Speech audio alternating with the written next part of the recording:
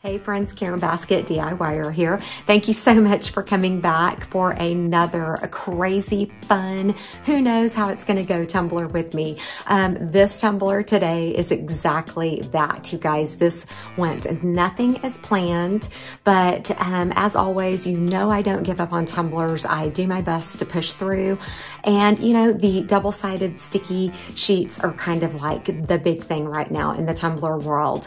I had never ever attempted one. I had never watched a tutorial. I had just seen bits and pieces on TikTok where people were applying glitter. So if you're in need of a good laugh, you are definitely gonna get it today in this tutorial. I have zero trouble admitting that I had no clue what I was doing, but I just went for it. If you're so, new here, welcome. If you're a regular, thanks so much for coming back. I drop tumbler tutorials every Sunday and Thursday at 6 a.m. And if you're new here, you are gonna also see I do a lot of DIY projects. And my husband and I are currently in the process of flipping a farm. So that's our newest endeavor. But anyways, just stay tuned, follow along, and I'll show you how I ended up with this. Okay, so what you're seeing here is me going into Cricut Design Space and I clicked on shapes and found this parallelogram. Um, I tilted it sideways and lined it up there on that vertical line. Um, then I duplicated it and did the exact same thing, just matched it up to create this first shape. Um, I then duplicated that or grouped it together, duplicated it, forgot to ungroup and they got stuck together. But um, anyways, you can just kind of see that that little chevron print there is happening, leaving a little bit of gap in between each one so that when I cut these later on, um, they'll have the lines in between each space. So I just duplicated, made three sets of it, welded it all together, um, sized it up to the you know measurement of my 20 ounce skinny that I'm going to be using. I could have just left that all welded together. I'm not exactly sure what I'm doing here, um, just situating them, moving them around. I had already created one set um, before showing you guys this, so that's what this second set is here. But anyways, then I just sent it on to my Cricut mat and cut it using this double-sided sticky tape paper. Okay, so I got my double-sided sticky sheet paper cut and you are probably cringing right now because of what I'm doing. You guys, I absolutely had no earthly idea how this process was supposed to work. Um, I've never watched a tutorial on this. I just have seen TikToks here and there, bits and pieces, and never watched a full tutorial on this. So, yeah, um, now that it's all said and done, I realize I totally screwed up. But I'm going to go ahead and allow you to painfully watch the process because I want you to realize that just because you mess up on a cup doesn't mean you can't totally redeem it. So if you're looking at my paper there, you can see that my Cricut setting cut too deep and cut through the paper. So yeah, it's gonna make for a real hard process here in just a little bit. But again, I want you to see that this can be saved and you know, you don't have to toss those messed up cups. You can come up with new ideas and different ways to rescue them. Oh my word, you guys, what a mess. But I decided to just go ahead and peel all the sticky off and try to get everything off the tumbler. And then an idea hit me. You guys, I'm, I'm gonna use this. I'm gonna make this work for a cool tumbler. Um, yeah, totally new direction on this one than I had planned, but I think it'll be fun. Here, I'm just putting some of the paper backing back onto the sticky parts to cover up my tangram pieces. Okay, I know at this point you are probably like, what the heck is she doing? This tumbler makes no sense. I told you I'm just gonna make something work out of this. I have chosen several different fine glitters. Twinkle Mauve, Twilight Beach, Blushed, and NYC. These are from MakerFlo and Glitter N Grand. Okay, Again, hoping this works.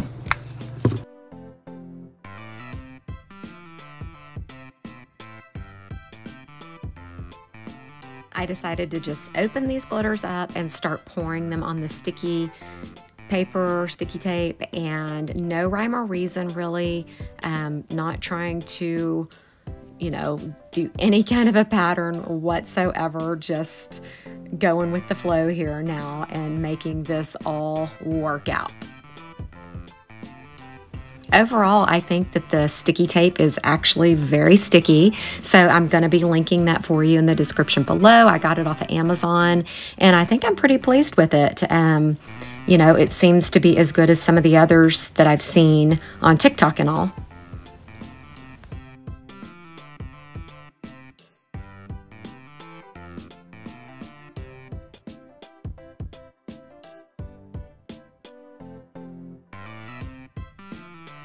Okay, it's all covered as good as I possibly could do it with the mess ups and mishaps that happened. This is just like a bubble under here that I couldn't get to lay down very well. But I'm going to rely on glitter glue to help hold that down. And you guys, I have it in my head how this is going to turn out. And it definitely is not how I envisioned it in the beginning. But now that I'm where I'm at, it's going to actually look really cool. These colors are beautiful together. Can you imagine if this was a real tangram that worked out for real? I'm just going to use a dry brush, a chip brush to dust off any excess glitter. And then I'm going to seal this up with glitter glue.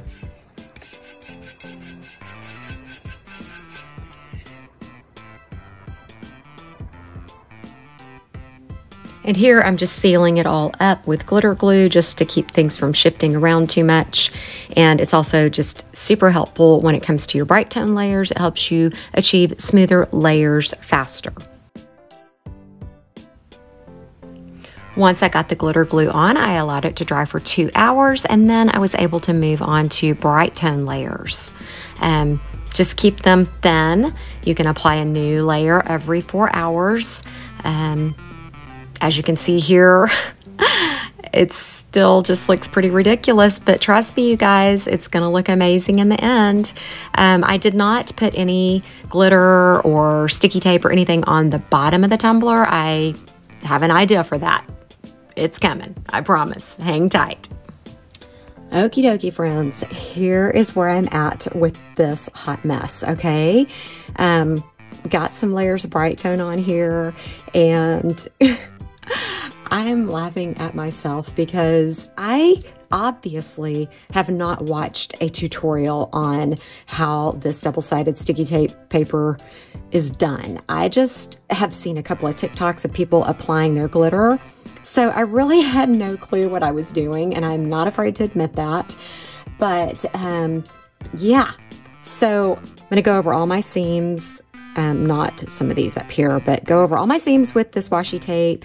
And then I have something else I'm going to be doing that is going to make up for all this gross awfulness, okay? Be patient, hang with me.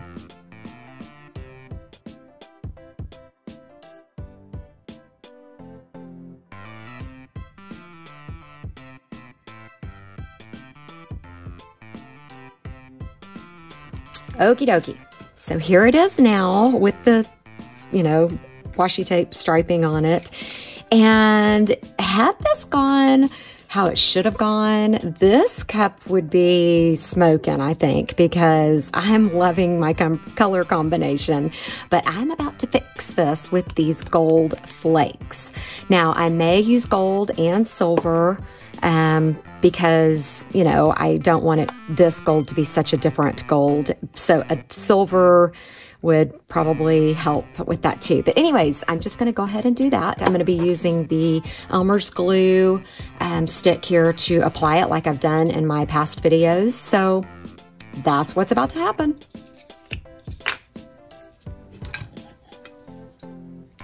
I'm really just going to go over any imperfection that I see, which is probably going to end up being the whole cup. But it's going to be rustic. It's going to be cool. Um, I'm not worried about it. I think it's going to end up looking pretty, pretty great after all. And I wore a glove in other videos while doing this, and I probably should be doing that right now, but I'm not, so I may end up with like foil fingers big time. Um, I found that it's just best to just grab chunks of it and just start sticking it on. And you don't have to be as perfect about it. And then a little later, after that's dry, I will use um, a paintbrush to knock all this off.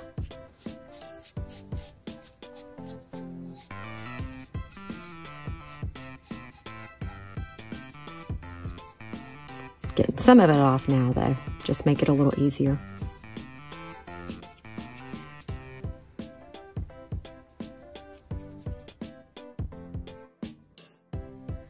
Hope you guys are seeing what I'm seeing and realizing, you know, I totally had to change my mindset on this one.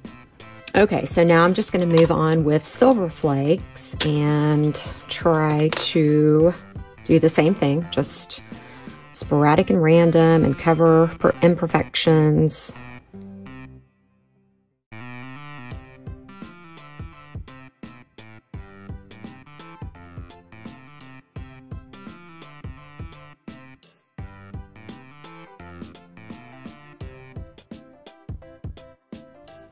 Once I got all the foil flakes applied and that glue was dry, I then took it outside and completely dusted off all the excess. I just used a chip brush to sweep it all off and make sure that there wasn't any like sticking up or anything.